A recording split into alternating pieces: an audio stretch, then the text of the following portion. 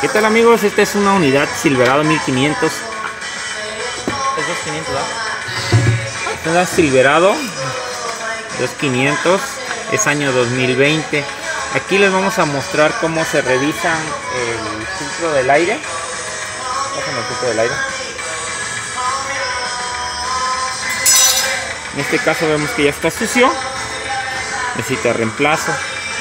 El aceite se le, se le pone aquí, miren. Cuando quieran rellenar el nivel de aceite. Aquí va. Esta bayoneta. Esta bayoneta es la indicadora de para checar el nivel de aceite. Muéstrales cómo, cómo checas el nivel de aceite, Master, por favor.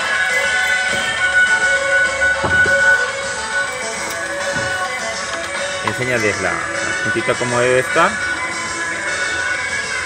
Aquí es el mínimo y acá es el máximo.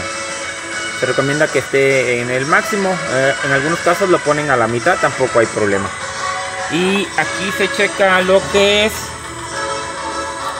el nivel anticongelante. Está a nivel sin problema.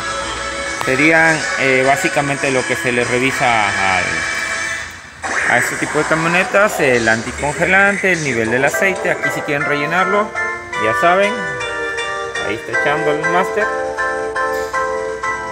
y el filtro del aire.